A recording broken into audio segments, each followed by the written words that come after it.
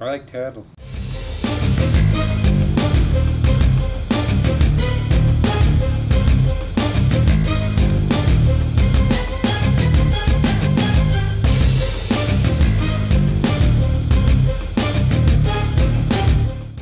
I'm Are we so- ready to be back, ladies and gentlemen?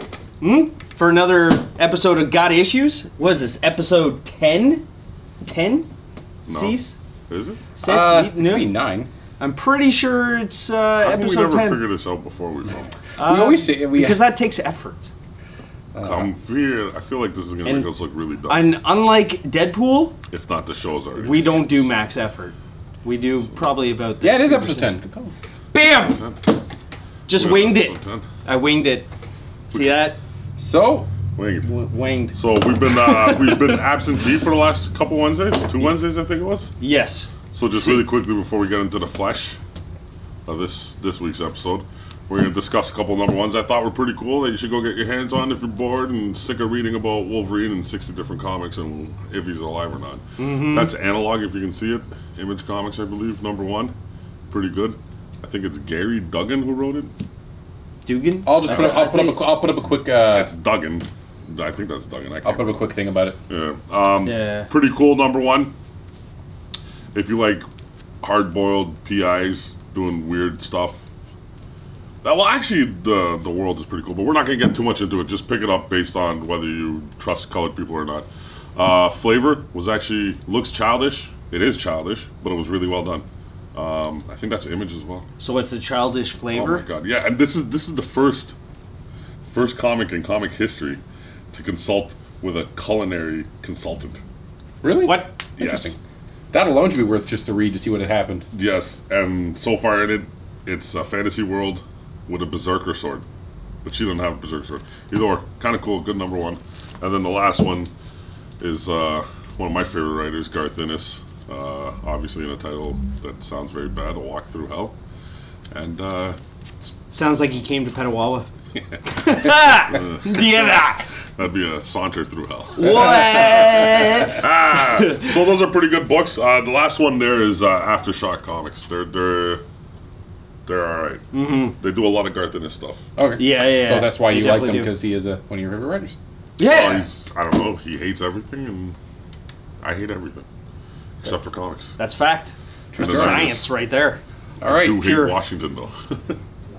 What's up? Sure. That's that's about a 50 50. I also love Riddick. All right. not not Vin Diesel. Tim Yeah. Roddick. Is that the correct pronunciation of your last name? Roddick?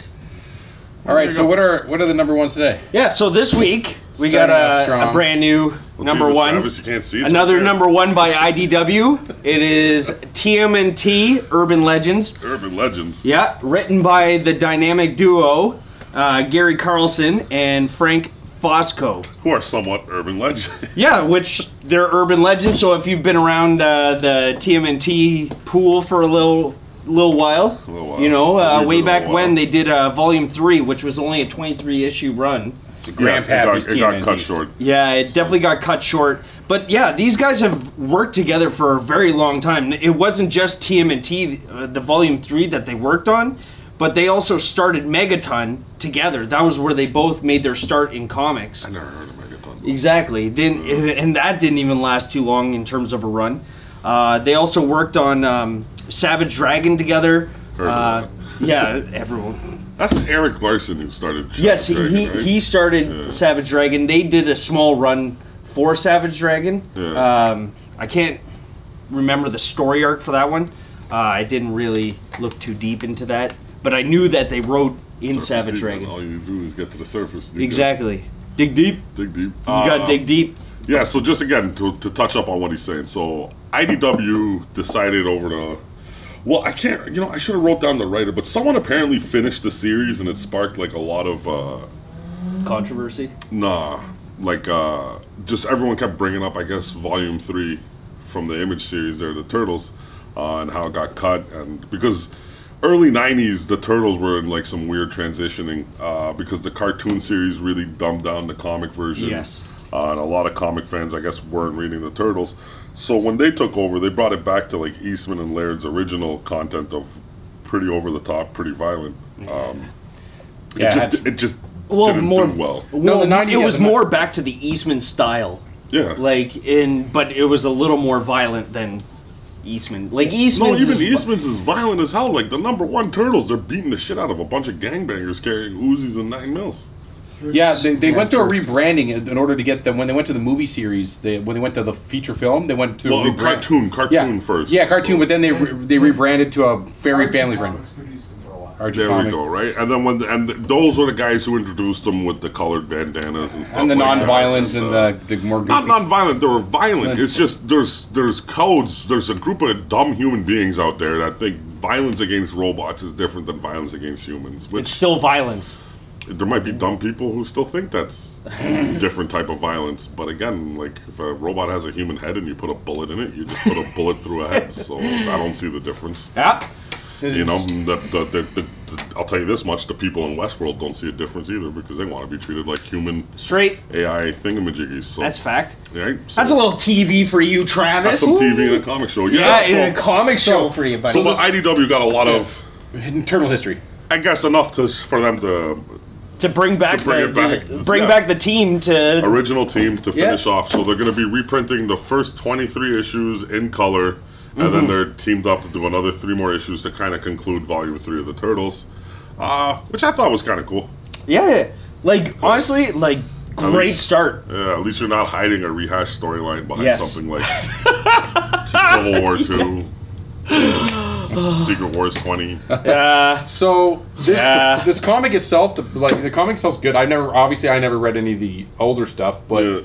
This comic itself is Or good. even the newer it's style not it's one. not my it's not the turtles I grew up on because again I grew up in the '90s when they were going on through that re- rebranding. Did you realize that when you saw what happened to Raph's face? You're Yeah. like, oh, that's definitely not the Turtles. I don't remember this in the live action movie. Yeah. And uh, anyway, yeah, uh, Vanilla Ice was not in this issue. Uh, Yeah. so It was strange to me. I didn't know what to do. I was scared, for a little while. Yeah. But it was um, Splinter, Splinter, very suicidal, very gross. but all in all, all in all, the characters are basically this. Like the personalities for the characters seem to be the same. Yeah, yeah. Um, Splinter's still doing his fatherly wisdom, trying to raise his kids, teach them life lessons. yeah, I thought that was cool. Yeah. How He was like, you might have problems fitting in the world, but remember, this is what you originally came from. Yeah, was- that was cool. do you So wanna h- know? how much you've come from, like from your beginnings Yeah. to where you are now, is great strides, and I love. Yeah, I love his wisdom as It was- always. it was- it's a good number one. It sets the mood for the bu- series. Shows the tight knit group that they're in. Obviously, they've always been tight, but it you know rehashes that out. Yes. and introduces uh, um, an antagonist for the series. All right, right out of the not gate. not all the way Well- yet, but yeah, yeah, Yeah. kind of the So hero boss. it's got a good. it- As for number one, it, it has that good arc that you like to see. It, it shows gives you the backstory and as well as where it's going. yep. So uh, it's a pretty balanced number one. and definitely had a lot of suspense. near Art's the pretty end. cool. Love the art. Yeah. So yeah, overall, I think it's a solid turtle issue. myself. Yeah, man. I man. give it a good turtle issue too, man. It's It's better a- than the other comic. we're gonna It's four turtles out of Yeah, four turtles. yeah, four, yeah, four to five turtles. Four out Yeah. of five turtles, four out Yeah. of five shells. Yeah, four to five turtles. Half shells. Uh, All right. So shall we move on to the Oh, second we didn't one, shout out any. ladies Uh, we gentlemen? did. We finished shouting. We did the artist and the. Yeah, yeah, we're good. Yeah, yeah, we did. Thanks, We did do thanks for birthdays finally for coming out, Travis. yeah. So Nothing. Travis finally showing up to this episode. And since we have random connections on a few of our issues, today's random connection is this is also a team of writer and artists that have been together for a while, doing comics for a while. it's crazy. So It's a dynamic duo day. Yeah, on it's the shop- dynamic on the duo Gotta day. Shoes. Dynamic duo day. Yes. exactly. So uh, this Sure. is another comic from IDW, I believe, isn't it? Yeah. IDW. Oh, and it's a double IDW. yeah. Wow. Um, science Wow. fic- a science fiction theme, a science fiction issue called Expanse 13. uh, sorry, Delta 13. Delta Yeah. 13. I'm sorry, when it started with the belt. And, yeah. Right. First page. It's like the belt. ah, I'm just like I know, I swear to God. that is not the belt away. And, and right in the time when the belt, when the expanse is hot in the news, so it's just like, ah, I got right to the Like, wow, expanse. man. But yeah, so you Should have IDW. started the comic with the belt. yeah. Exactly. So Which I guess isn't an expanse term. That's actually what they call But it. even- Asteroid the belt, it's called no, belt, but even the freaking crew in there. Okay. Yeah, Yeah, First no, of all- the crew had some weird similarities. One black Yeah. girl, three other dudes. Yeah. One guy was in the dark, so he could have been a brown guy. That's literally the Expanse crew right there. Yeah. But uh, a little Well, about the maybe writers, a little bit the Chinese writers guy. and the artists on this one. Who? Okay, yeah. So Yeah, writer yeah. Steve Niles, uh, longtime writer. We got a birthday for him. He was 24th of June, 1965. Um, he's been writing for a bit. He's done a lot of work. Uh, Thirty Days a Night would probably be his biggest title, which got taken to a movie. Movie adaptation. Um, Yeah, he does movies. He's worked with uh, Rob Zombie uh, on The Nail. It was a comic series. So he wrote the out. graphic novel, and then that was adapted into the movie. Yeah, I don't like the term graphic novel unless you're actually talking about a graphic novel. Yeah. Okay. What I thought- Okay. Okay. No, actually, he tried to ship from. If, if I didn't get this wrong, from my understanding, is he had that as a movie, like it was a screenplay, and then he tried to get it sent out. They denied it. They denied it, and then he takes his movie rejected list, and then he sends it out to comic companies, and They did it as a graphic novel. They picked it up. as a Oh wow. It's like you purposely want to get stabbed on the show. Yeah, exactly. so they redid it as a comic, and then the success of the comic brought in the movie. Yeah, yeah. Oddly enough, So it's it's this weird circle, but yeah, he ended up getting his movie in the run. So yeah, that's a did- lesson on persistence. Yeah, Yeah, no don't kidding. Put, follow your heart, man. Yeah, follow your right. heart. So, but yeah, the, uh, even video games. The guy's written on Spawn. He did Gotham City uh, County Line. I think it was Gotham County Line, which Holy was a weird. jeez. Yeah, and then he he wrote the the, the, the script for Fear Three, the video game. Wow. Uh, so yeah, he'd been in it to win it for a minute Wow. now. So he's an experienced writer. Uh, he tends to write darker. Uh, He's genre. a horror horror Oh, writer, a horror writer. mainly mainly horror, right? Especially if you if you're teaming up with Rob Zombie, you're either into drugs or horror. Or Why not both? uh, Why sex, not drugs, both? rock and roll. But uh, Yeah. he does, and then the the artist himself, the artist has The artist is followed Nat him Jones. around. He's well, I don't want to say following. No, him but they've been around, working 'cause they- They've, they've had different works. Like he worked on a series called '68. Yeah. Uh, actually, both of them are horror guys. Because '68, if I'm not mistaken, is zombies in Vietnam. Um, so, anyways, but yeah, Nat Jones. I guess his biggest title would be Death Dealer. He's worked on The Crow. Uh, Spawn Dark Ages, 30 Days a Night. He also did the nail, the art for the nail, which is the Rob Zombie comic that uh, Steve Niles worked So he on. did he Okay, did the art for Thirty Days a Night. Yeah. I actually have well, that he's did, he did art for some of 30 Days Okay. a Night. Most of 30 Days a Night was uh, Ben Templesmith, I believe it was. Okay. Because I actually have that, and the art in that was actually really good. Because I bought it when the movie came out. They had this thing where you bought the DVD and the Yeah, the, the yeah. book Well, the art style between the guy I just mentioned and, and that is, is pretty similar. Yeah, so like that whole book was pretty. The art was really good. It was dark. I liked it. It was actually a really good book. I actually Yeah. liked, liked it, and I understand Yeah. why it did well as a movie. Yeah, Okay. Unfortunately, with Delta 13, it kind of just missed a bunch of marks for me. Not- It was it was almost like I felt like I read a bunch of pages with like really a crew with nothing happening, and then they ran into a bigger asteroid. It's like okay. Well, like It was super shallow. Uh, the character interactions For a number one. The, yeah, Yeah. the character, the, the, like, I don't. There's not a memorable memorable character. I don't even show. know how do you gamble on Scrabble. Is that even a thing? Can you gamble on Scrabble? That's about the only memorable part from the comic that you're like think they're going to be going and playing poker. Why don't you just gamble Yeah. on like a traditional gambling game? Why do you got to be so? But even then, like I get, I get that you want to establish characters and everything. they didn't though. Uh, no, they didn't. It was a lot Well, of bland, dry dialogue. yeah, dialogue. the black lady has a A husband. family, a husband and kids. Yeah. so I So, mean, and the husband might have been through some horrible shit because Generic- he has nightmares. And Well, shit like yeah, that. he's Just, probably a uh, belter, and they have nightmares. not- all the time. generic. It's generic mining. Sh- generic mining ship in space number 32 finds a, Yeah. a mysterious asteroid Yeah. that has more than meets the eye. So it- Yeah, it's, exactly. Well, no, they flew into mysterious Yeah, honeycomb. It had a honeycomb to it, so they flew inside of it. So, in regards to a unique storyline, not really. Um, unique art though. Unique art. The art's Yeah. good. Unique-ish. Yes. Unique- I, I, I do like the artwork in Yeah. it. Like uh, this, the ship looks good. They did the, Yeah. the characters look pretty good. It's dark. You can tell it's going to be of a of a uh, darker, more uh, Oh, twisted. it's jo- definitely going horror. yeah. Yeah. It So has- it smells like a horror movie, but horror movies continue after the first ten minutes. Like they don't just stop and then wait a month, which I don't think necessarily works. The biggest comics. thing You is gotta the have dialogue. X amount of hook. Well, yeah, and plus the dialogue definitely needs work, man. Like, Why was it- it kind of like paper talking to paper? yeah, it was pretty. Hello, Yeah, cardboard. yeah. Good afternoon, cardboard.